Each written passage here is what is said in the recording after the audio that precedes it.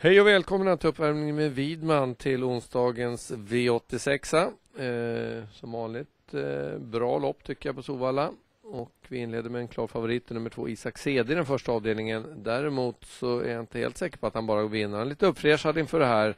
Jag har stått över en aning, dessutom full distans. Eh, ja, min vinnare i första hand är nummer tre Maxwell Mayday som jag tycker är en riktigt bra häst som jag har en hel del eh, förtroende för. Fick senast ett tufft lopp i Dödens eh, på, på eh, Värmo. Nu kan det bli bättre förutsättningar. Skrikhästen annars, mycket snack, är ju nummer fem Skargel som har gjort två riktiga toppinsatser i skymundan och faktiskt sett, eh, visat upp lite av sitt gamla jag. Han är också tidig med. Så att eh, tre Maxwell Mayday och fem Skargel det är första hästarna för mig i den inledande avdelningen vi hoppar vidare till den andra avdelningen. Noterar att det är Ritano Fright nummer sju som är favorit där. Eh, leder i häst.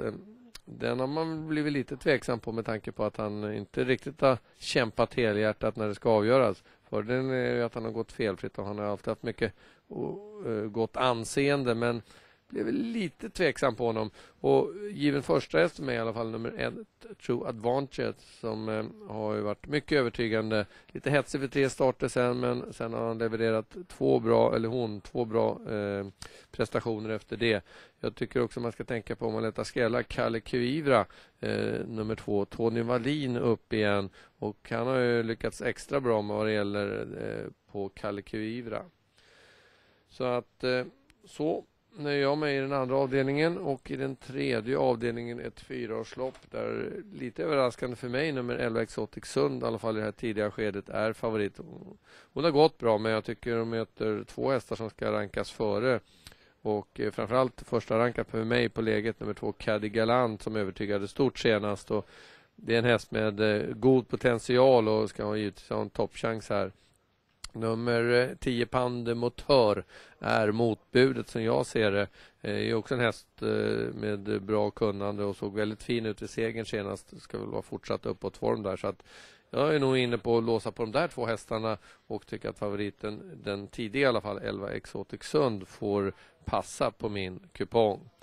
Vi tar ett lopp till här per omgående. Noterar i den fjärde avdelningen. Jag får rulla upp här lite hur det ser ut. Det är faktiskt lite överraskande. Nummer eh, 12 Sandringham Hanover som är favorit. Han har gjort det jättebra men ett eh, tolfte spår tycker jag ställer till det en hel del. Och, eh, eh här är ett lopp som är lite småöppet.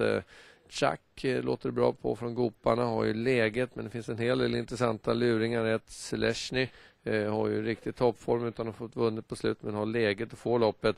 Och letar man ännu längre ut eh, på vingen och längre ner i sträcklistan så kommer man på Didis Brassi och framförallt Otakurus Broline som jag har känsla av kommer bli lite bortglömd här. Tycker hästen har varit... Eh, det var bra i debuten, fick ett tufft lopp då, hade problem med fästet senast och försvann den gången. Såg i övrigt väldigt bra ut bägge de här starterna. Han har varit stel och kantig innan så att jag tror att han är klart på G och han kommer att bli sträckad under 10% Trots åttonde spåret så varnar jag lite extra för åtta korus Broline.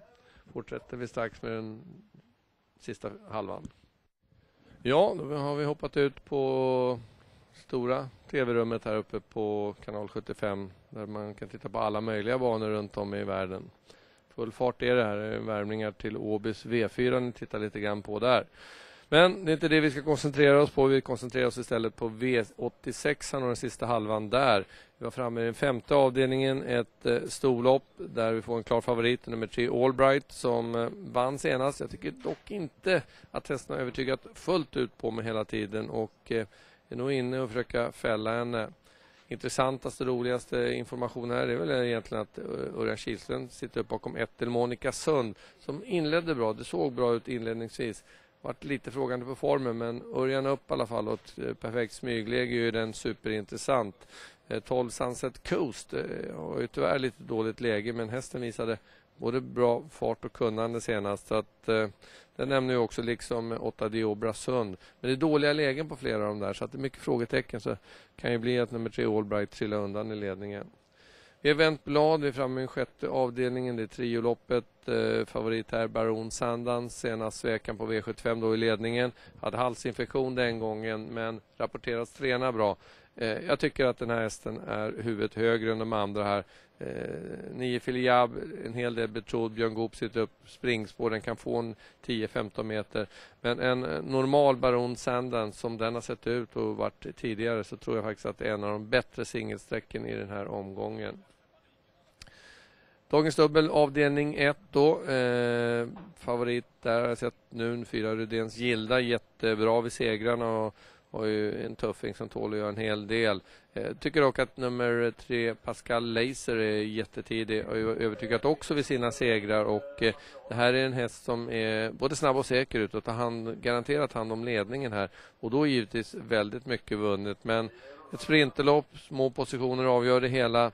Eh, kanske värt att ta ytterligare några hästar men Pascal Laser i alla fall eh, min första häst här i dagens dubbel Vi avslutar V4, det är Golden Weddings lopp. Det är ett storlopp eh, där eh, det är lite spridda eh, upplägg då med en del från eh, med mer pengar från tillägg och eh, känns lite halvklurigt loppet.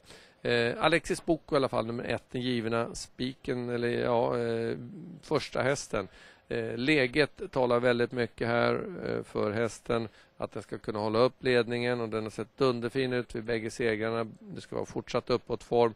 Eh, och de värsta motbuden de står ju då med 20 meters tillägg. Och tänker jag framförallt på 10 CC Westside, 11 Turbo Cherie och kanske då också 9 Simrubi som kommer ner lite grann i klass som det känns. Men jag är nog inne på att läget avgör, även om vi inte har de allra snabbaste banorna, så tror jag nummer ett, Alexis Boko, har goda chanser att leda det här runt om för Jorma Conti och eh, blir också det ett singelförslag eh, för mig den här gången.